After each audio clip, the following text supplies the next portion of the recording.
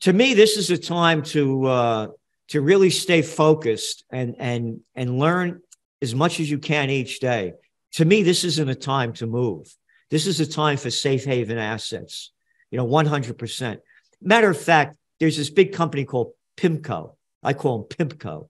They're they're, they're you know these private equity groups that buy up everything.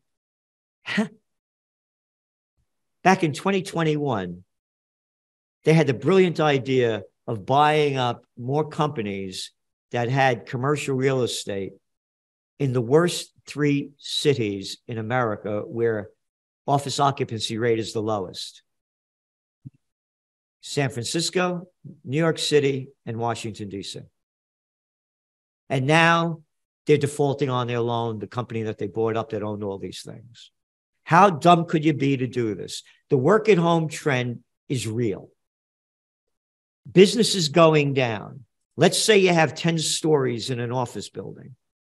And now people have been, I don't want to commute anymore. They stay, they were forced to stay home and they're saying to themselves, Holy Christ, I'm getting up at five o'clock in the morning to drive an hour and a half each way or, or take the train and commute. I don't want to do that anymore.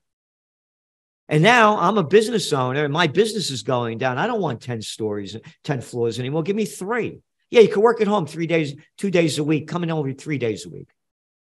This commercial real estate bust is going to be the worst in, in, that anybody could imagine because the hard facts are it was overbuilt before this. And in the United States, it's going to go down the hardest. Now, again, when interest rates go up, these variable loans go up, and the kind of deals that they do to, to, to mortgage this kind of office buildings, that goes way up. So you're going to see a crash going on over here. Now, all the businesses that depended on commuters, they're going out of business. In America, a third of the dry cleaners are dried up, they're gone. No more happy hours, gone. People aren't going to work on Friday anymore. Oh, Friday used to be fun day. No more, it's gone. So the implications of this are very serious.